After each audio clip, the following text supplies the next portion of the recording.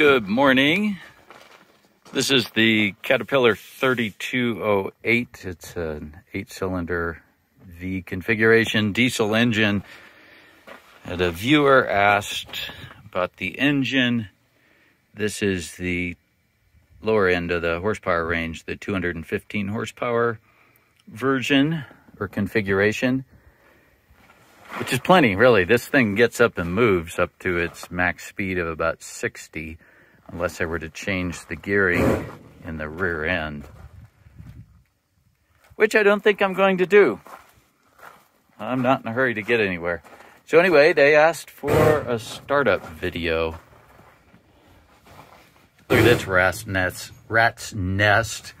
Uh, one thing that's kind of interesting because it was a road striping truck, it must have had some kind of low speed limiter. Doesn't have a dual speed rear end. That must have been some kind of a limiter or limiter or something. But I'll have to clean all this up.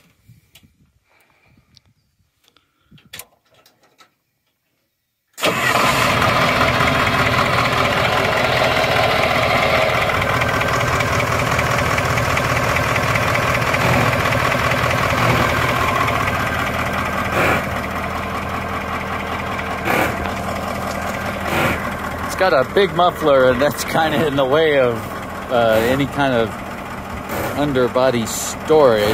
I might straight pipe this thing at some point, but we will see. Anyway, there we go.